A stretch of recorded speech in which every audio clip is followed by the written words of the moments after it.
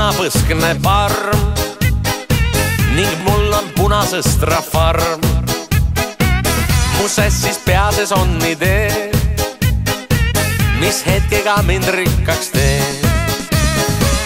ma sõstrad ära purustan ja pesukaussi nõrutan, siis päikse käes neid kääritan ning veinilõhna nuusutan.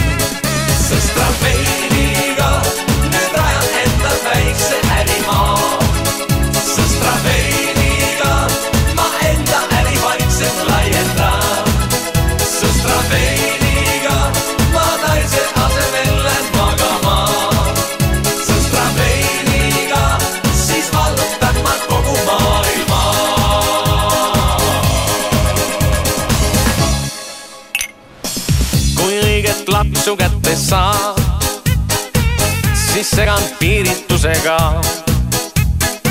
see loomulikult silditab ning tehnilise lõhnaga.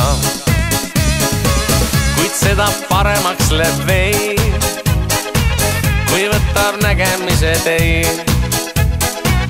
seepärast hämarduma silm,